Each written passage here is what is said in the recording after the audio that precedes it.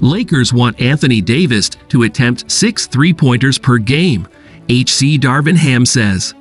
During the first half of an NBA preseason basketball game in San Francisco, Los Angeles Lakers head coach Darvin Ham is hoping to see star big man Anthony Davis add a new dimension to his already impressive offensive arsenal this season.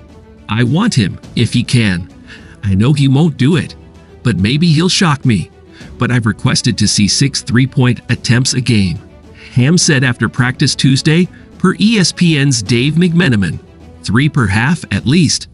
I wouldn't put that on him if I didn't think he was capable.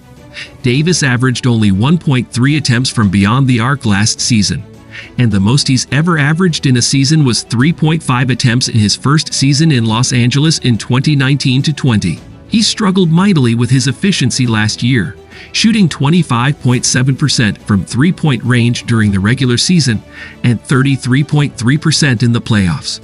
However, through two preseason games, the 30 year old appears to have embraced his coach's request.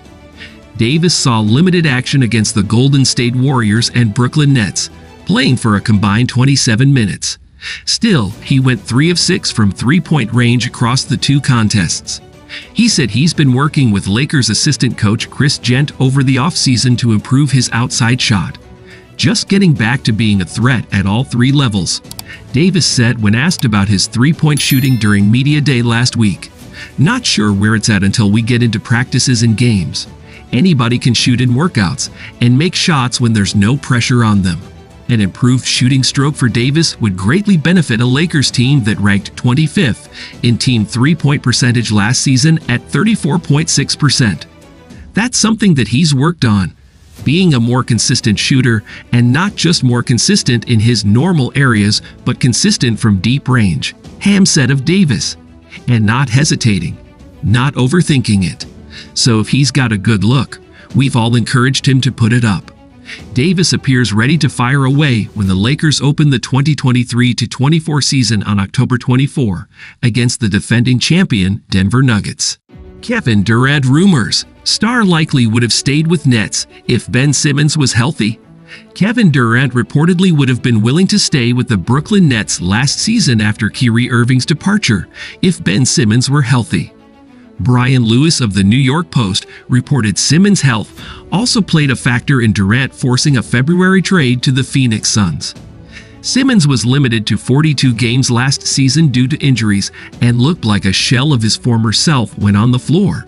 He averaged career lows in points 6.9, rebounds 6.3, and assists 6.1, while showing a noteworthy regression on defense. The idea that Simmons' presence would have been enough to fix the strained relationship between Durant and Nets management seems unlikely.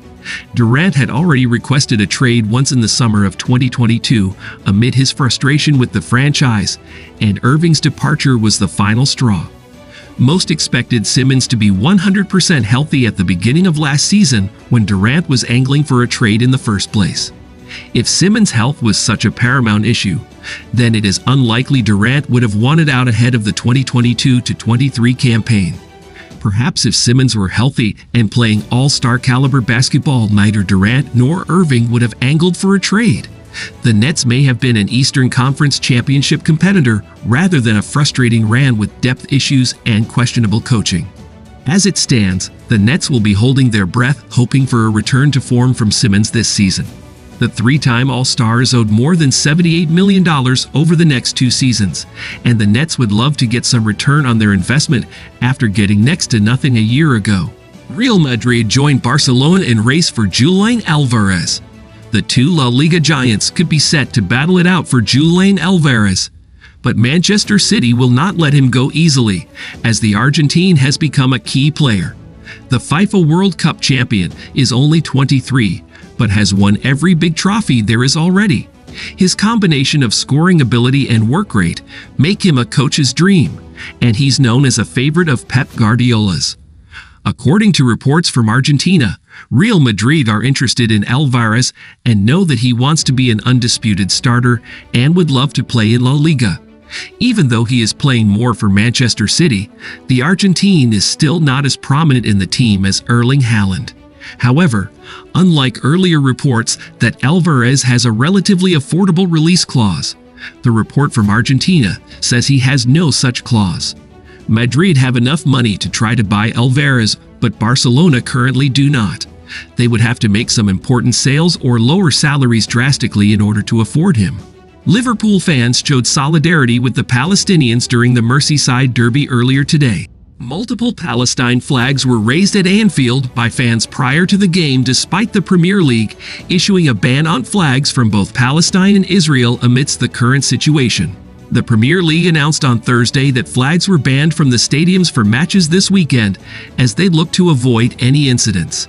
However, Palestinian flags were still raised by some Liverpool fans inside Anfield. They also displayed another banner that read, For God's sake, save Gaza. From Leagues Cup glory to MLS playoff race agony, grading every Lionel Messi performance from the Inter Miami superstar in the 2023 season. For the remainder of the campaign, Goals Ryan Tolmich will be evaluating the seven-time Ballon d'Or winners' displays in the United States. Lionel Messi has well and truly arrived into American soccer as the Argentine superstar wasted no time in making his presence felt following his headline-grabbing move from Paris Saint-Germain to Inter Miami in July. Messi is undoubtedly the biggest star in MLS and almost certainly the biggest the league has ever seen and therefore all eyes were on him as he looked to lift Miami from towards the bottom of the table into playoff contenders and eventually title challengers. In the end, Tata Martino's team fell short of that target, thanks in no small part to Messi suffering an injury that saw him miss multiple matches down the stretch. He fared better in the cup competitions, though, guiding Miami to their first trophy as they won the Leagues Cup while helping them earn a place in the final of the U.S. Open Cup. Goal was there throughout to ensure you didn't miss out on any of Messi's displays during his time in Miami, as United States writer Ryan Tolmich casted his eye over all of the Argentines' performances and gave an evaluation on how Messi fared in each of his outings with his new club. Inter Miami fans had to be patient for that debut, with Messi not named to the starting XI, but it certainly was worth the wait.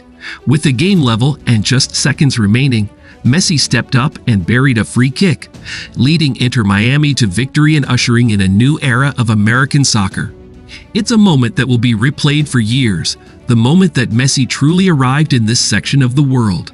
It was the dream debut, the dream goal for Inter Miami's dream player. The first of many, you'd expect, but when all was said and done, it was a night that will be included in any and every highlight reel going forward. How could you possibly follow up that debut? Well, this is Messi we're talking about. Of course, he took things a step further in round two. Handed his first start in Inter Miami Pink, Messi was absolutely dominant in a 4-0 triumph over Atlanta United. He scored the first two, both within the first 22 minutes, before setting up the next two.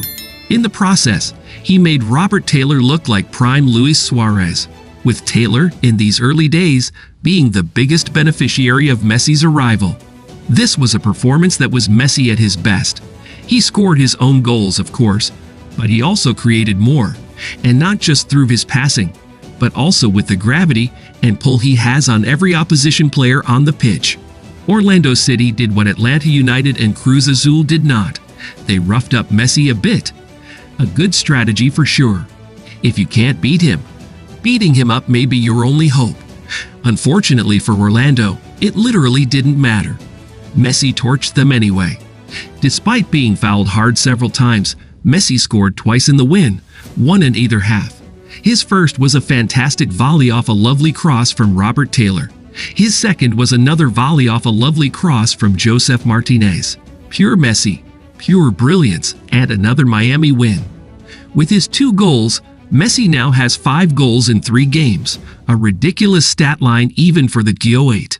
Orlando tried something different, and they barely slowed him down. Another game, another victim for Messi, who continued to terrorize all in his path. Grade